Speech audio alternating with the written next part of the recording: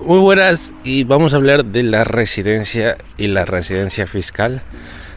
Las diferencias, porque hay el error, vale, creo que por aquí da contraluz, por aquí se me ve mejor. Hay diferencias porque mucha gente que viene y yo, bueno, yo también antes de venir a Paraguay tenía esa duda.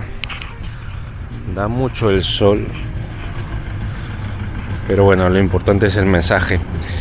Eh, hay gente que tiene dudas, ¿vale? Eh, me pregunta, eh, ¿la residencia ya es la residencia fiscal o qué me hace falta para ser residente fiscal en Paraguay?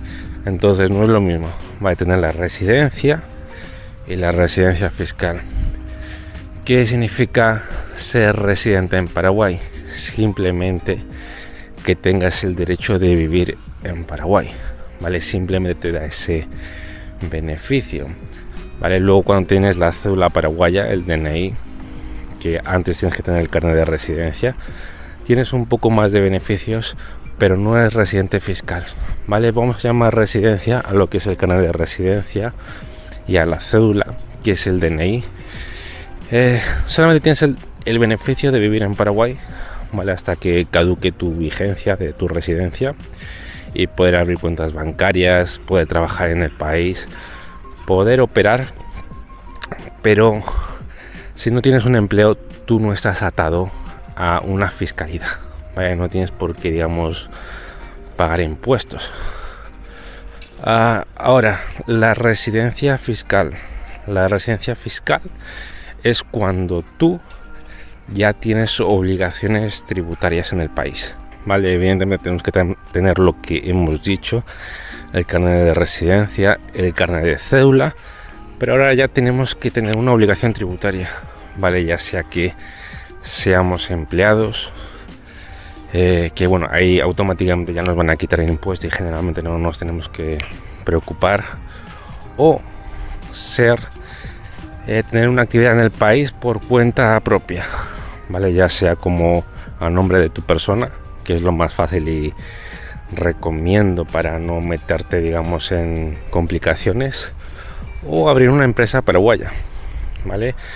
Y esto en Paraguay tiene un nombre, tiene el nombre de RUC, ¿vale? Y el RUC, como te he comentado, puedes abrirlo RUC a tu nombre, que sería RUC como persona física, o RUC como persona jurídica, ¿vale? Con una empresa paraguaya. Esos son los nombres que se manejan en Paraguay. El nombre de RUC entonces, el RUC a tu nombre, a tu nombre físico, ¿vale? Que responda a tu nombre, por ejemplo, el mío Alejandro, y las facturas que yo doy es con mi nombre, las facturas que yo doy es Alejandro. Tenemos ciertos beneficios o carencias como quieras verlo. Vale, el primer beneficio es que a diferencia de muchos países europeos no se paga nada. Vale, tú puedes iniciar tu actividad y si tu ingreso es cero, tú no pagas nada. No tienes que pagar ninguna cuota, no tienes que pagar IVA evidentemente, no tienes que pagar IRP porque no estás haciendo actividad, vale el coste cero. Evidentemente tampoco estás cotizando a tu jubilación, pero tienes esa opción, ¿vale? De cotizar a tu jubilación y pagar un porcentaje. Y ahora un poco lo extraño es que tampoco estás, digamos, pagando a la seguridad social. La seguridad social como se conoce en España. En Paraguay se conoce como IPS, al sistema sanitario, que es como funciona la seguridad social. ¿Vale? Porque en Paraguay lo tiene separado eh, la sanidad pública y luego aparte está el IPS que es de los trabajadores.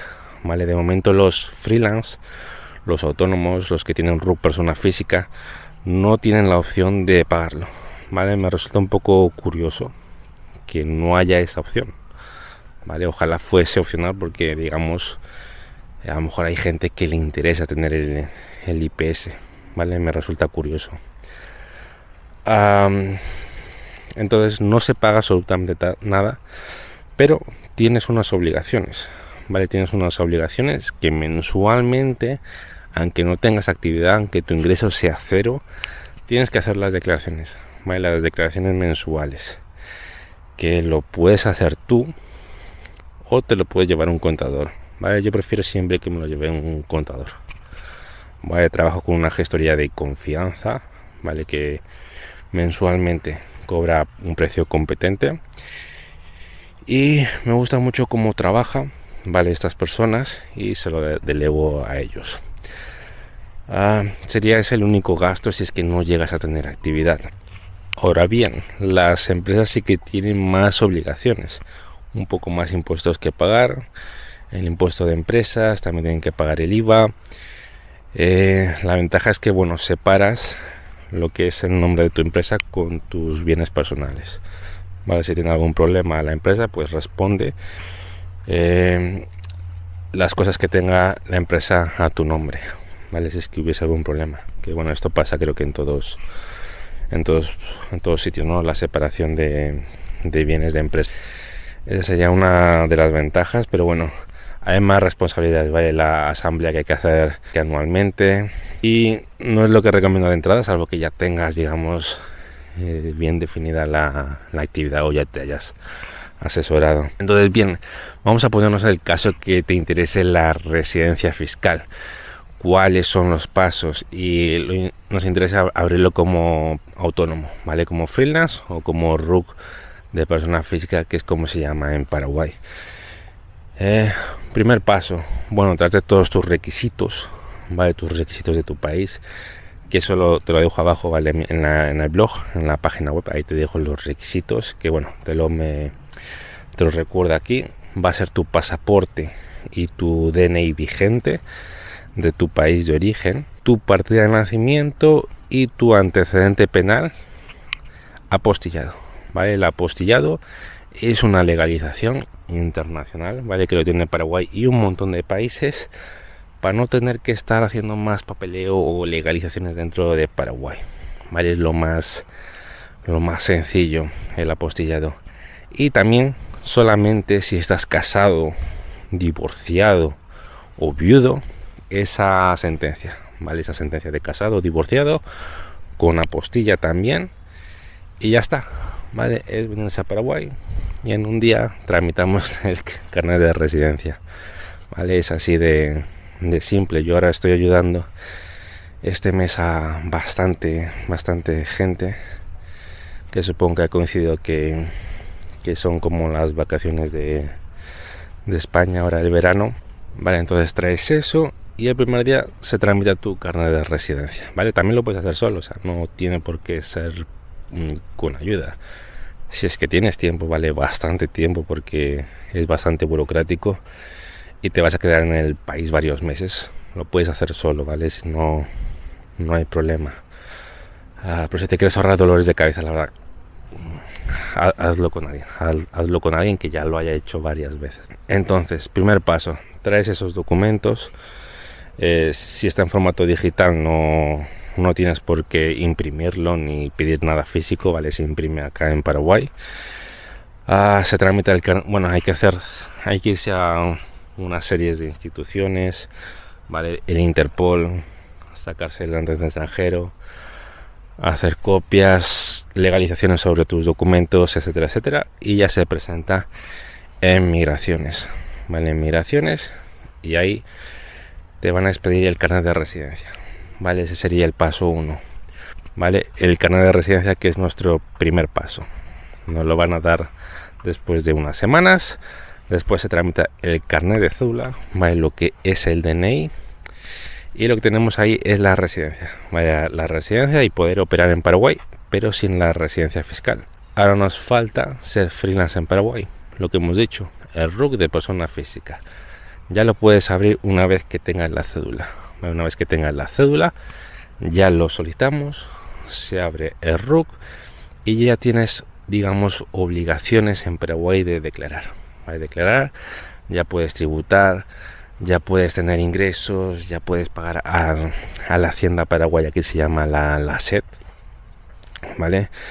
Hay que hacer las declaraciones mensuales, como te digo, mientras siga el RUC activo, porque se puede dar de baja ¿vale? Y esos son los tres pasos que, que hay que hacer para ser residentes fiscales como persona física en Paraguay, ¿vale? Incluso, de hecho, desde que tengas el RUC el primer día, ya puedes solicitar el certificado fiscal, ¿vale? El certificado fiscal eh, que ya estás tributando acá en Paraguay. ¿vale? Desde el primer día que tienes el RUC ya se puede tramitar. Bueno, aconsejo esperar un par de semanas más para hacer el trámite por lo menos. Y ese certificado fiscal te sirve hasta un año. ¿Vale? Dura un año que lo puedes presentar como, como prueba. ¿Vale? Otros países que te... Si alguien te dice, oye, ¿dónde estás tributando? Mira, aquí tengo mis declaraciones mensuales y aparte un certificado fiscal que dice que estoy tributando en Paraguay desde esta fecha, Desde que tengo el RUC activo. También este certificado fiscal se puede apostillar también dentro de Paraguay. Como es un documento que se ha emitido en Paraguay oficial, se puede hacer dentro del país también el, apostillado. Ah, es más opcional el certificado fiscal. ¿vale? Hay personas que me lo piden por si acaso mira, yo quiero tenerlo, pues vale, lo, te lo solicitamos. Pero no es necesario, ¿vale? Y a lo mejor con España, como todavía no ha salido la, el doble convenio con España, ¿vale? Esto de los convenios. Es decir, que tú no puedes estar tributando en dos países, ¿vale? Tus obligaciones solamente van a estar en un país. ¿vale? Esto significa el doble convenio. Entonces, si hay algún conflicto, lo van a resolver.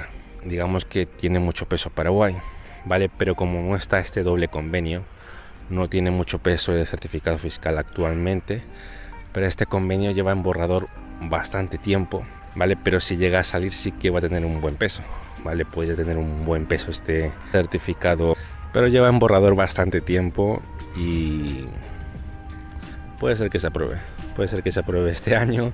Llevan así bastantes años, no, no se sabe. ¿Vale? Es así como funciona la residencia fiscal en Paraguay. Vale, te lo resumido de una forma simple. Y cualquier duda, vale, puedes entrar a la página web. Vale, ahí tienes el vídeo también que hablo de la residencia. Tienes más posts que hablo sobre la residencia, etcétera, etcétera. Vale, cualquier duda, contáctame y vamos a protegernos del sol.